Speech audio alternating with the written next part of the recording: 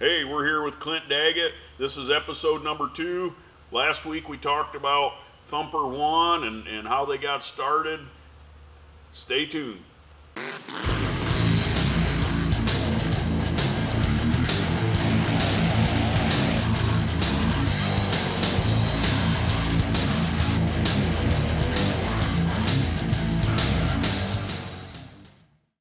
Hey, we're here again with Clint Dagit, Thumper, and Thumper number two. So last episode we talked about you got fly, flown in, which was pretty unheard of considered, you know, nowadays a lot of drivers get flown in, but back in the day you were still in high school and you were running a monster truck. Yep. Your dad was taking it and then flying you in to drive it. So tell us a little bit about number two and that experience. I mean, that was Well, it's definitely a childhood that probably a lot of people didn't have or, or wish they had. A lot of people say, I wish I had it.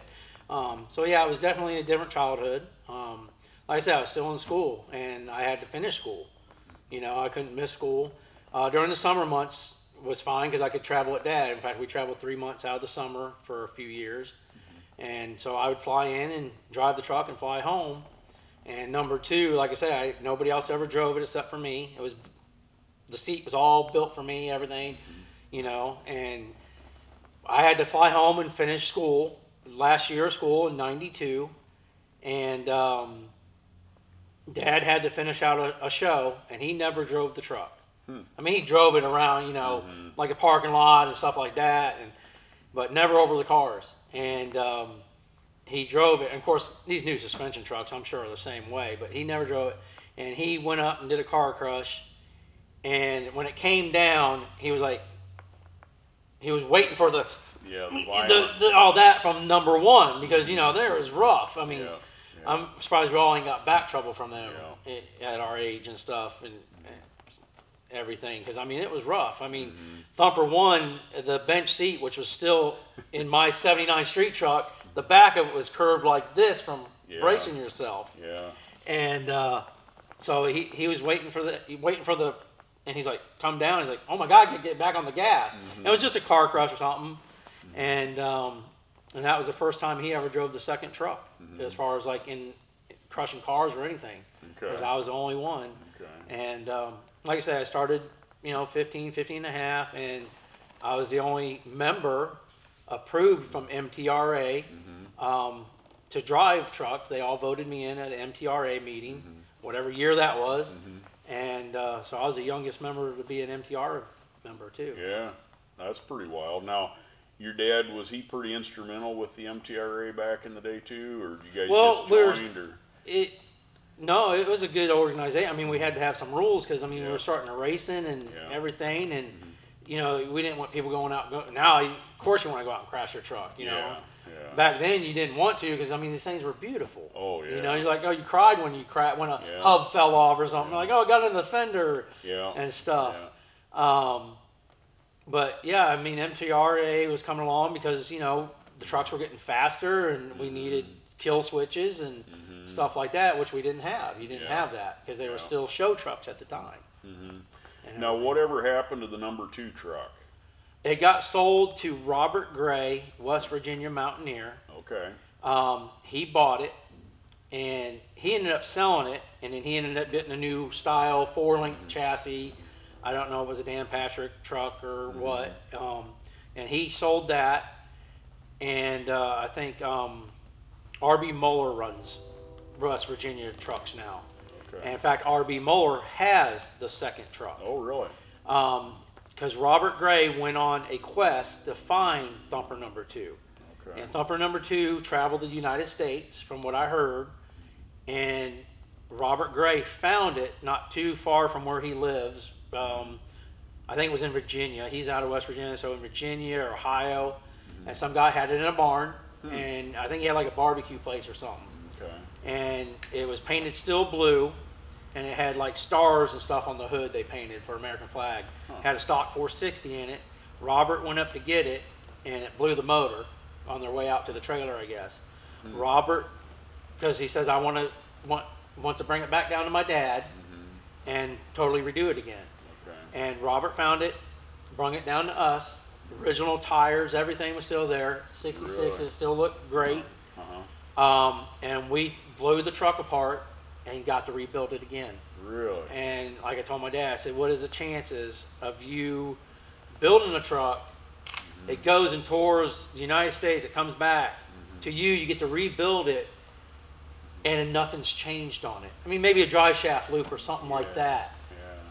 Yeah. And um, so we totally redid it for Robert Gray, painted his blue and everything. Um, I mean, took you know sandblasted, repainted it, and it's like every time Little Thump got done or sold, and Robert come down and bought the truck the first time, I loaded all that in the trailer. It's like I had to load them in the trailer. It was like the goodbye, and I'm like, oh man. And when it when Robert come down to pick up it, when it was totally done, I loaded it in the trailer again. but um, I don't know how long Robert kept it, um, but RB Moeller bought it from him, from what I heard, and he still he still has a truck. All right. So it's around wherever RB Moeller's out of, I guess Okay. Virginia or West Virginia. I don't know. Okay. Um, he has the truck. Okay. So Now you said you had a street truck that has a lot of the first. yeah, I had it. Oh, okay. I had it. In fact, I sold that, and then that truck sat for 13 years. And everybody in the air, because everybody knew our color green. yeah. And Dad painted his motors yellow. Why? It was just something different. He didn't want to go with Ford blue or anything. And everybody would ask us, "What kind of motor's in that?" Because it was yellow. Yeah. I mean, you had 460 on the side. Uh, everybody said, "What kind of motor is that?" And then we'd go 460 or 484. I've never seen a yellow motor, but Dad always painted his motors yellow, Yeah. just something different. And uh, my, of course, Thumper One's motor was in that. It was painted yellow, but the truck sat for 13 years. Everybody in the area knew it. Tried to buy it back, and the guy had to move, and we ended up getting it and buying it back. And in fact, we were in the process of redoing it when my father had passed, and Okay. I had to let the truck go. It was in too many pieces. It was going to cost two. It was probably 80% done. It was a rolling chassis. Uh, in fact, my father uh, father painted it, which he's never really painted too much. Turned out pretty good. Uh, the only thing left was a cab to, to you know, redo and stuff on it. We're in the process because it had Thumper's one doors on it.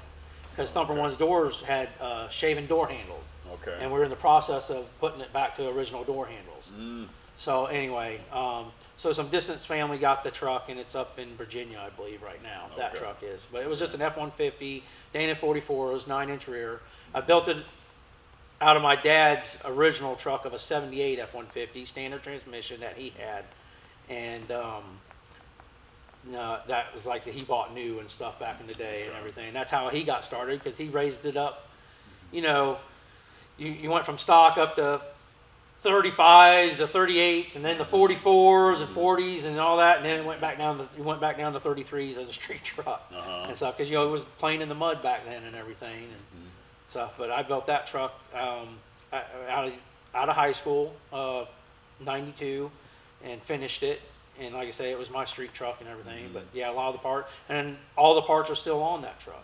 Okay. Like I said, that motor is still running today, huh. and it sounds great. And all we did was just freshen it up, Wow. Even after all them years of racing with the blower and stuff on it. That's pretty cool. Now, what do you do now for a living? I haul heavy equipment. I've done that for the last 30 some years. I've Okay. worked on equipment, run heavy equipment, um, but we haul it. In fact, uh, I work for a company that, you know, um, we do boring, road boring, so I haul everything they have. And my dad worked for a company, and I work for his company also because they have nobody there to work for either. Well, after his passing, so I'm working for two companies right now Okay. and everything. But yeah, I've Alright. done that all my life after we got out of the trucks and everything because Dad got into it. Mm-hmm. In fact, we had a transport business hauling heavy equipment. Okay. That's when he got cancer the first time, so I had to come over and run the business Mm-hmm. while he was because either he had to shut the business down because he just started it, or I had to come over and run it. So I had to Okay. quit the company and come run the business for a while Okay. until we shut it down and everything. So. All right. Well, hopefully you guys enjoyed this. Um, I know I sure did with Clint, getting to know him a little bit more about their story, and and uh, please like and subscribe and and uh, give us your comments. Thanks for watching.